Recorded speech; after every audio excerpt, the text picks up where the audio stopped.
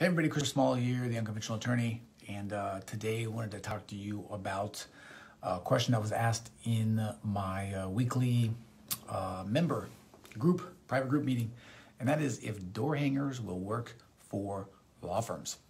Before I get to that though, I want to remind you if you are um, a law firm owner, if you're a business owner and you're not subscribed to my newsletter, go and subscribe. The unconventionalattorney.com forward slash newsletter. We'll get you that every week at least once a week. It's goodness, it's amazingness. Um, don't miss it. The unconventionalattorney.com forward slash newsletter. Okay, so will door hangers work for law firm owners uh, and their advertising efforts? Uh, the way that the um, so I'm I have a, a, coaching group of law firm owners, and um, every week we meet live. And the theme of this week is advertising. And so we were talking about uh, somebody asked whether or not they thought door hangers would work for law firm advertising efforts. If you don't know what a door hanger is, if you're if you're if you're young, young too young to know, basically um, there are these things that you can hang on door hang- handles. They're called door hangers, and a lot of painting companies use them. I think a lot of roofing companies use them. Realtors use them, and I mean anybody could really use them. You just pick a neighborhood, make the make the door hangers, and you hang them on the doors. Right? It's pretty straightforward. Um, this particular question came from somebody that was a bankruptcy attorney, but in the group are uh, divorce attorneys, personal injury attorneys, uh, um, estate planning attorneys. What else do we have? Business attorneys, trademark attorneys. We have all kinds of different attorneys in this group. And so the question um, was was a good one.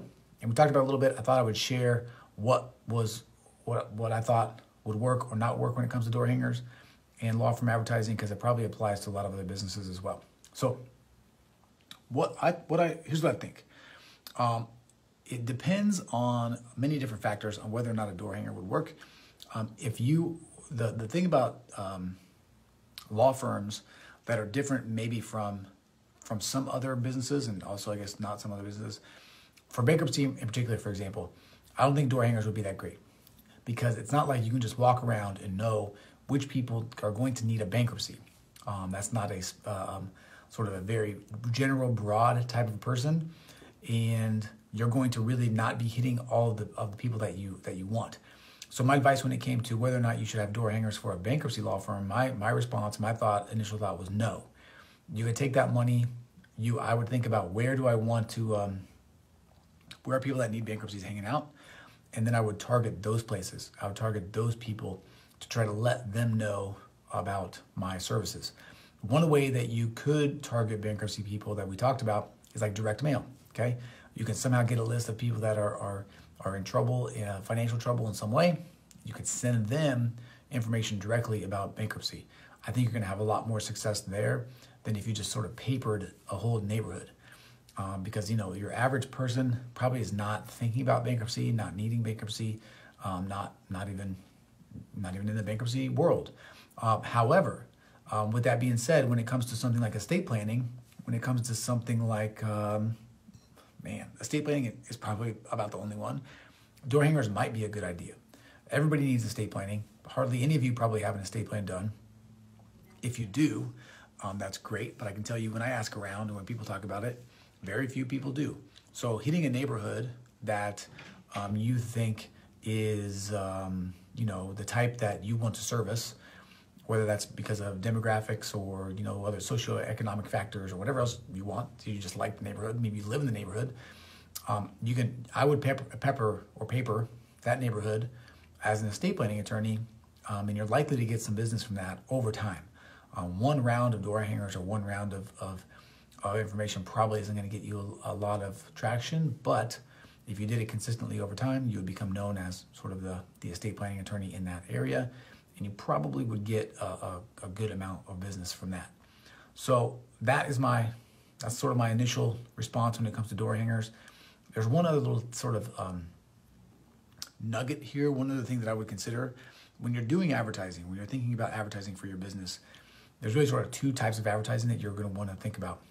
Number one type of advertising is going to be sales, right? You want people to call you, you want people to sign up. That's kind of what we're talking about here.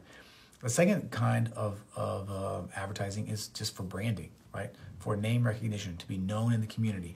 this would be akin to um, often having your uh, logo or you're sponsoring a little league team. You know, sponsoring something else, uh, throwing a, a, picnic for your for your uh, um, for your clients and for your people, right?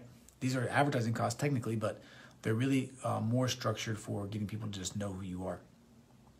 I don't like to do as much of that kind of advertising because when it comes to law firms, when it comes to smaller businesses, the branding is going to take a lot of time. It takes a lot of money, it takes a lot of effort, and uh, the payoff just often isn't there. So, um, when it comes to thinking about where to put your dollars for your business, for your law firm, or for your small business, I would really focus on those places where you know your potential clients are going to be, where you know your customers are going to be, and I would spend the money on that. You know, for law firms, uh, Facebook is a great place. Uh, for law firms, Google Ads is a great place.